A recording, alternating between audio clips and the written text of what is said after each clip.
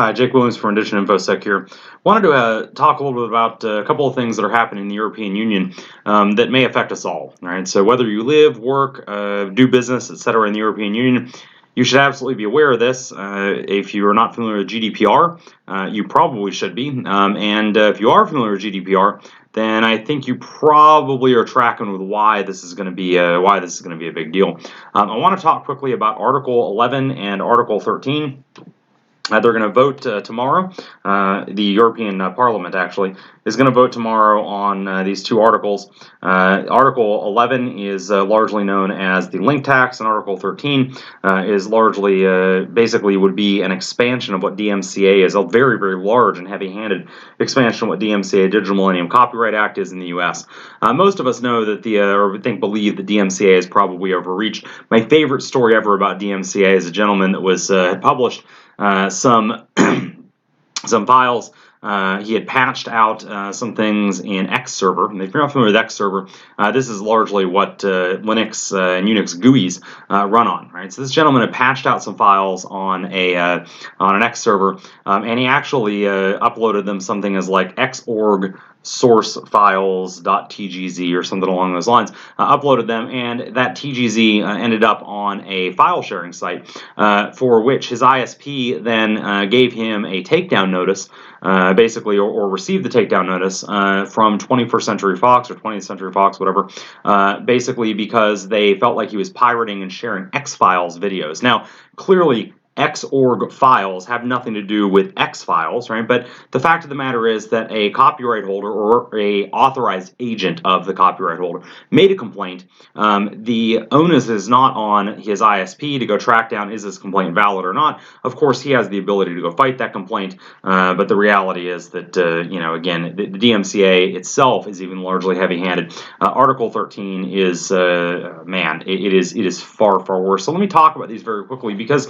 Um, depending on how the vote goes tomorrow, of course, I know in the U.S. we're all enjoying fireworks and hot dogs and whatnot today, uh, but of course, uh, I'm over here in London at the moment, uh, and so this is looming heavily on Brexit or no Brexit. This is looming very heavily on the minds of many of these many of the Europeans that are in these classes or in classes over here very quickly want to talk about this this link tax uh, as well as the uh, the copyright uh, issues. I'll start with Article 11, um, and I'll put a link to a uh, to a blog post uh, so you can read up more about this uh, yourself. Um, again, not a blog post necessarily that I wrote. Uh, I'll link you to some other people who have done some great work on this. Uh, but as far as this this link tax goes, uh, and again, that's what it's being called. Technically, it doesn't establish a link tax in any way. Uh, what it actually does is uh, basically uh, limits the ability of a third-party site to show a preview um, of what they're linking to. Right. So typically, you know, and if you've ever searched Google News before, I certainly do news searches occasionally. I'll be honest. There's times when the preview is enough for me. Uh, the first couple uh, sentences uh, of the uh, basically the preview, the photo, the first couple sentences, the headline tells me what I need to know about that particular news story. Right now, again, if that sounds short-sighted, uh, great. But you know, it, it, particularly with breaking news, for instance, active shooter event.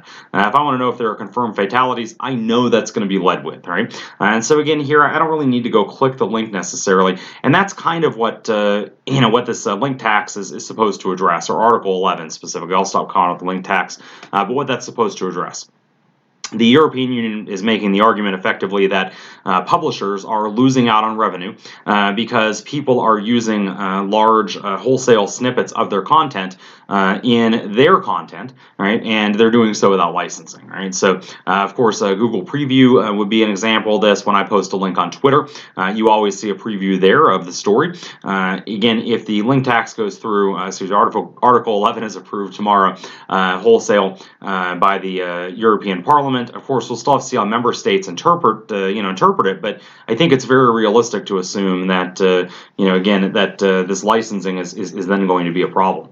Now, of course, this creates uh, creates issues for let's consider a platform like Twitter.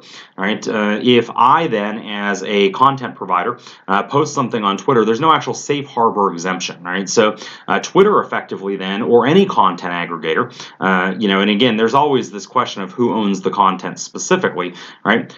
Bottom line, there's no safe harbor exemption. Uh, if the, let's say again, I'm, I'm going to use the Twitter example here. If I post snippets of content or quotes of content directly, um, and, and again, there's a lot of question about what is a quote and what's not, that there is an exemption for that for the context of academic research, um, but it does seem to be uh, geared again towards academic research. So quoting an article there, uh, not necessarily quoting it, you know, again, it, it's unlikely that that exemption is going to allow us to say, again, post a link with, with content on Twitter. Uh, so the content preview on Twitter. Of course, this is uh, mildly concerning, I think, uh, because, you know, if we kind of step back here and, and look at this, this is going to force a lot of our media platforms, uh, particular social media platforms, uh, to, uh, you know, either pay licensing for these particular articles um, or in a another possibly more dystopian case um, is simply going to prevent the linking of those articles entirely, right? So that that's kind of what I picture. That said, you know, from a security perspective, I, am mildly concerned about the lack of a preview. Right? I, I feel like without uh, without a preview, I think we're more likely to see uh, malicious attacks with links. Uh, you know, certainly. Uh, again, if there's a, uh, you know, again, we're gonna have to look at how how some of these publishers create their licensing models because again, even if I have a license, let's say that I negotiate a license with the uh, let's say uh, a Wired magazine, for instance, right? And I'm just pulling them out of a, uh, you know, out of out of kind of my back pocket there. Uh, let's say I coordinate with Wired magazine uh, and I get a license specifically. Let's say it's even for a story I'm quoted in, right? And I say, oh yeah, I totally want to publicize this for you. And by the way, a lot of the reporters that I work with, um, you know, I, I, tell them for sure that I will go ahead and tweet out the articles that they're writing, um, and again do that as you know, obviously to help promote their content, but also because it's, it's just good, just good business. Um, now let's let's say again that they've agreed that because uh, either because I'm quoted there or because whatever they like my tweets, that I can go ahead um, and uh, you know basically use uh, previews or snippets um, of their content. Uh, under the Article 11, that may not be allowed specifically because it's not clear who owns my content on Twitter. Right? Um, again, when we look at and, and again when I say it's not clear who owns it, I mean from the context of Article 11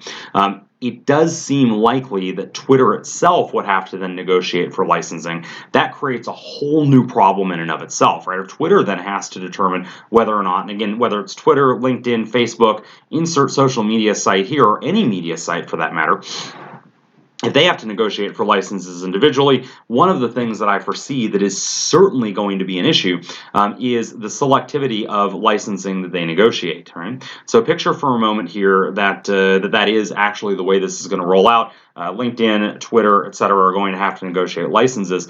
Um, suppose for a moment, and, and again, I'm not going to go super political here, but suppose for a moment that they negotiate licenses with Breitbart, uh, but decide, decide not to uh, negotiate a license with the Washington Post. One might assume that Breitbart's licensing model would be uh, substantially more favorable, uh, substantially cheaper uh, per se than than let's say the Washington Post, which tends to be more quality journalism, or, or again, you know, without getting political here, again has a much larger body of journalists. Maybe is a better way to put that without uh, without potentially annoying anybody. Um, but but let's let's point out here that again, fringe news sites and, and fringe news uh, uh, basically aggregators are, are likely to want to spread their message more now, that's not necessarily high quality journalism, right? Now, nothing will prevent you from actually putting a link up. I want to be very clear about that, that there's not a tax to actually link to a site, right? There, there's nothing there. Um, it's only with snippets. But, but again, let's be very clear here, too. If I post a link to the Washington Post and somebody else right beside me posts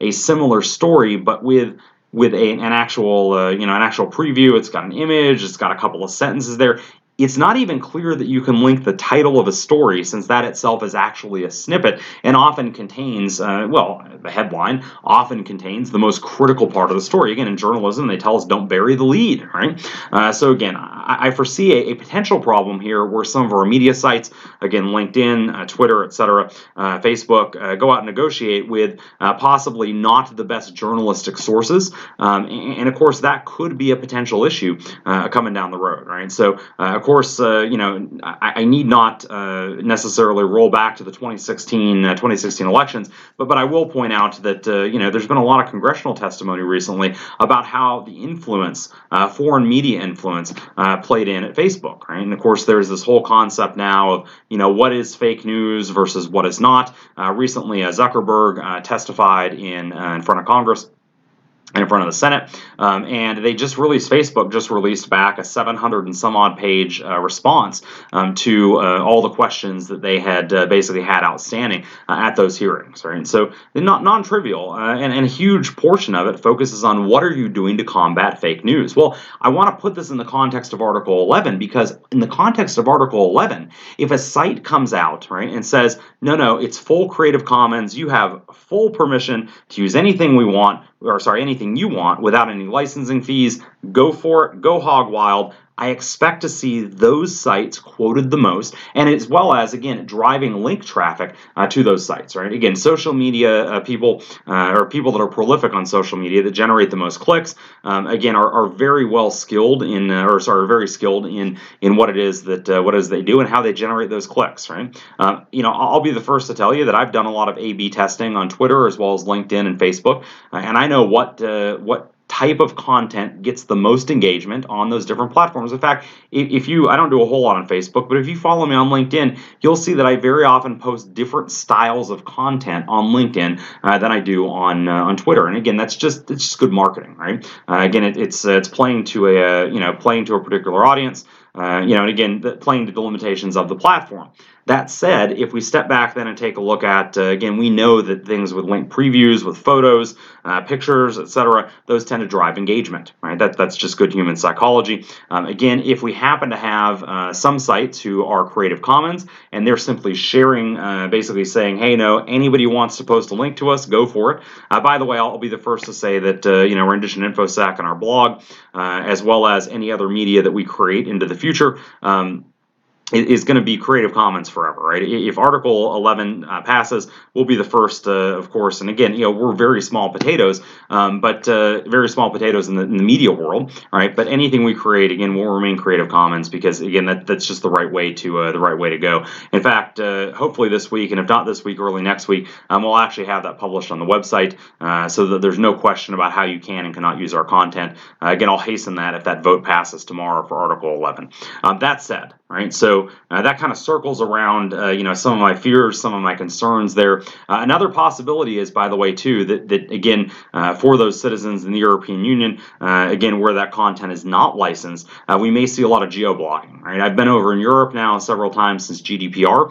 this is actually my, my fourth different country that I, or say fourth, I guess we'll say fourth trip into Europe since GDPR passed. That's actually, so GDPR became official. And as I'm looking at the date here, July 4th, that actually makes me question some of my life choices here uh, with the amount of traveling I'm doing. But in any case, um, I can tell you that consistently, uh, my user experience here in the European Union, going back to sites uh, typically which are, are honestly typically coming out of North America, my user experience is already different, right? Um, I can only imagine what my social media experience uh, would turn into, uh, again, if, if Article 11 passes as written. Okay, so that said, let's talk about Article 13.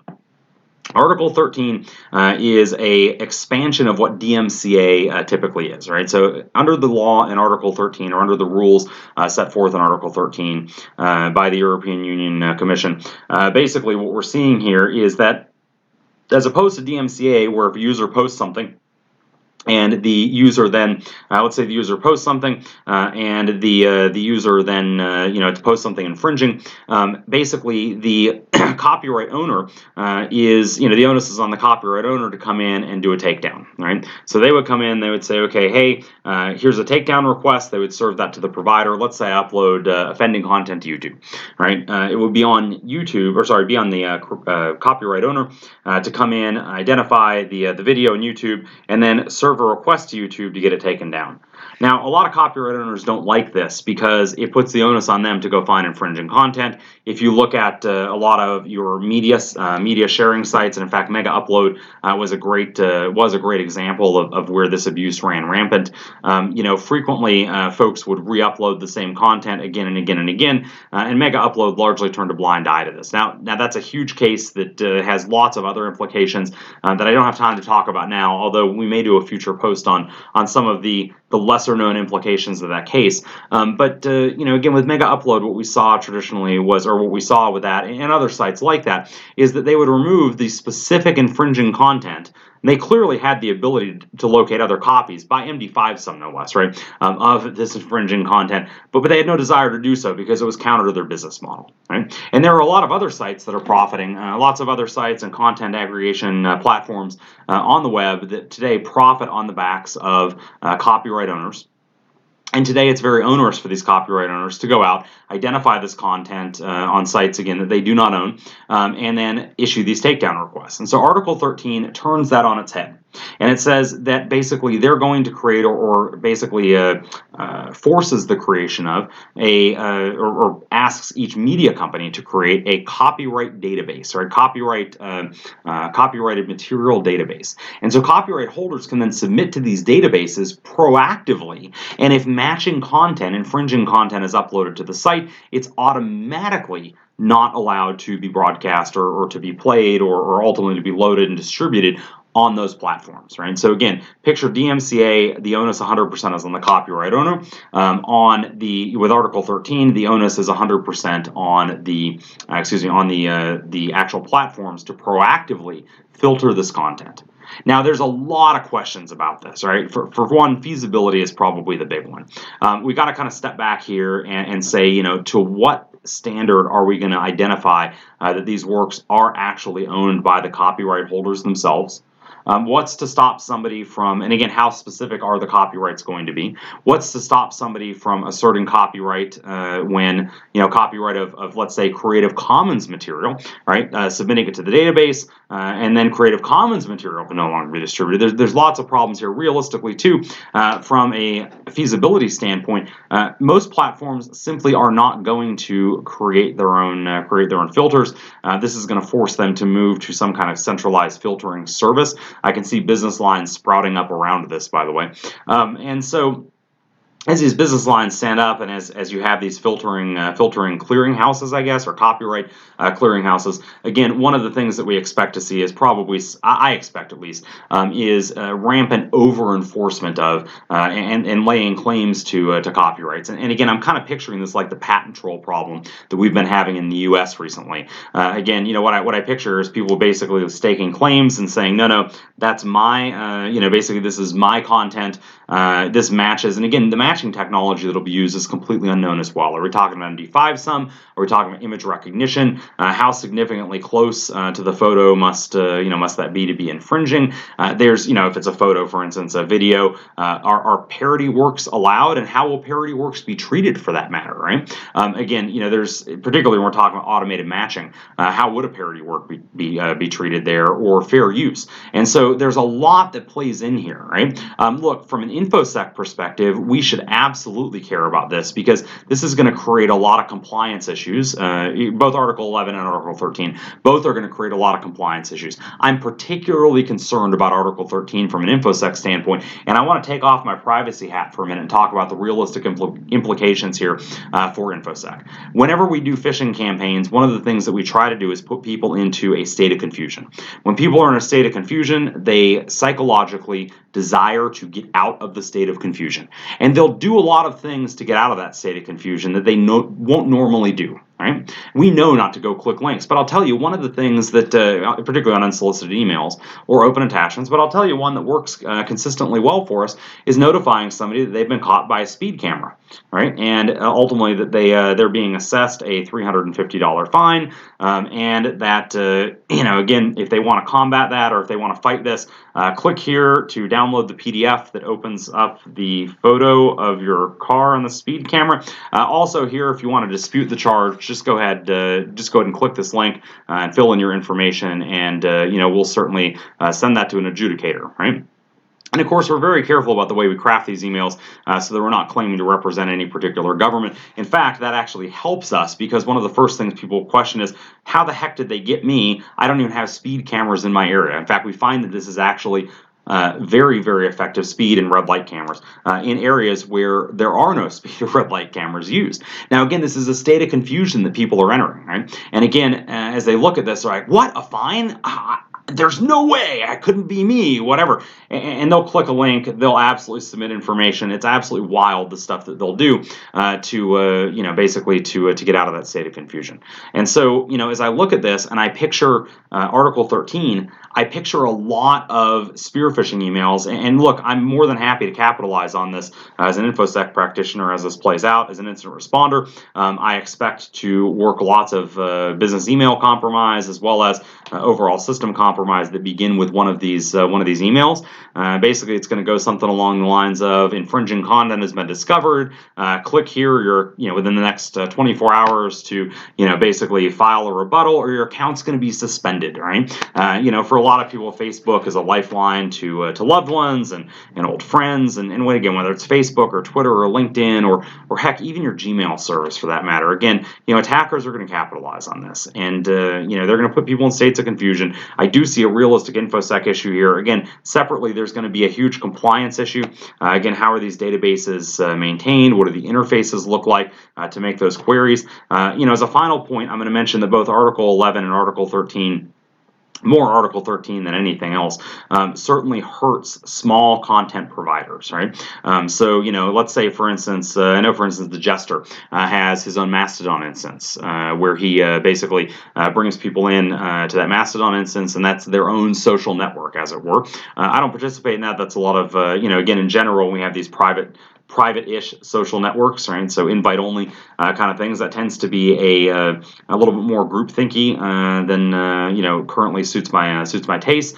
But that said, on these smaller instances, right? Um, let's suppose for a moment that uh, that somebody does publish a copyrighted uh, does publish a copyrighted work, right? Um, if the jester hasn't, uh, you know, again, isn't uh, directly monitoring that, uh, uh, you know, monitoring that, and doesn't have basically the upload filter in place, they're actually liable under Article 13 for damages.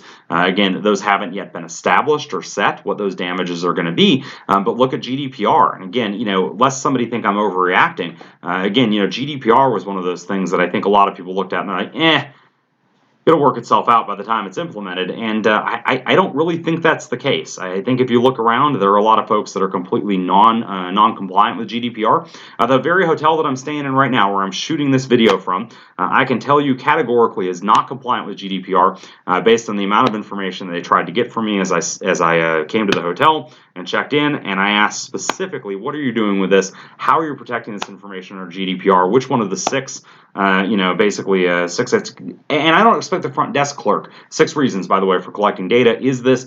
I don't expect the front desk clerk to know. But I do expect manager to know, and I, I went ahead and asked because why not? I'm here; it's a good sample, uh, and uh, I can't get that sample back in the U.S. Um, and then followed up with uh, the manager doesn't know. And I said, listen, even if you don't know, can you point me to where uh, this is? Uh, turns out, uh, even a day later, check back in. Uh, turns out the manager said, yep, I, I've asked. I asked my management, the GM, and, and I still don't know. Uh, we, we don't know where to send you.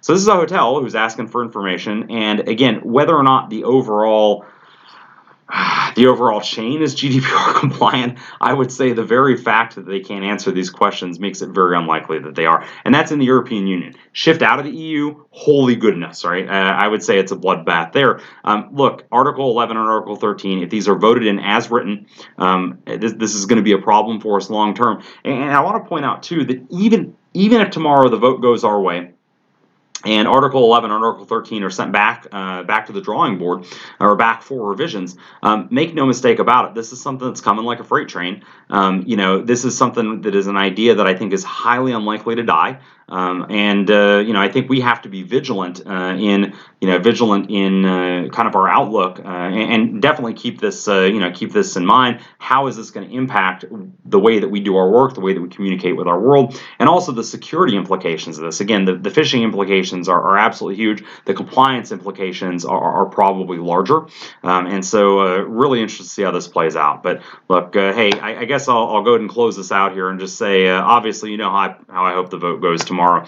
Uh, one way or the other, though, we're going to stay vigilant, uh, certainly, uh, and you know, stay vigilant along these lines. Stay educated. That, that's the only way to stay ahead in infosec.